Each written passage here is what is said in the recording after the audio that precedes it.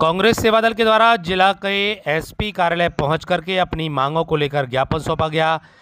कांग्रेस सेवा दल के सदस्यों के द्वारा एसपी को मिलकर के, एसपी साहब से मिलकर के अपनी मांगों का ज्ञापन सौंपा गया। क्या कुछ मांगे थी, क्या ज्ञापन सौंपा गया, सुनाते हैं आपको।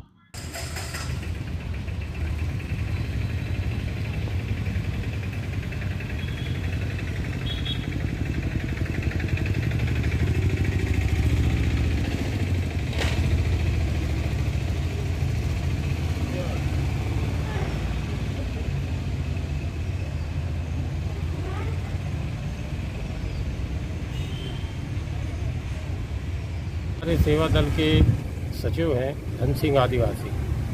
उनका करीब 20-25 वर्ष पुराना मकान बना हुआ है, अपने भैरव बहर के पास। वहाँ कुछ सामाजिक तत्व के लोग, उनके घर पर अनावश्यक उनको घर हटाने का दबाव बनाते हैं और काफ़ी दिनों से परेशान हैं। इन्होंने पुलिस चौकी जबलपुर नाका पर शिकायत की थी, जिसकी अभी ऐसी कोई सुनवाई नहीं हुई है। एक दिन मात्र पुलिस वाले गए थे और उनको समझा के भगाए।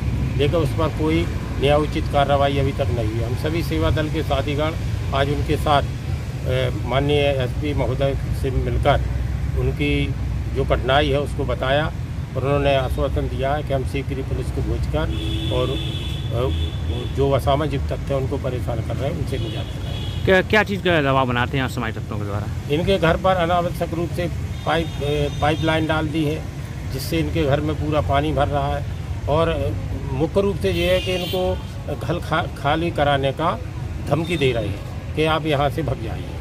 ये है। परेशान कर रहे हैं और क्या वजह है? भैया जितेंद्र यादव और रवि यादव परेशान कर रहा है। हमारे मकान के ऊपर घर की बड़ेरी पे उनने अपने छत का पूरा पानी माने पाइप डाल के और दरवाजे में पानी डाल रहे हैं। ईंट ईंट- ईंट और मिट्टी रखे हैं पूरी दरवाजे में पूरा पानी हमारे घर में भर रहा है। हम उनके कारण रह भी नहीं पाते।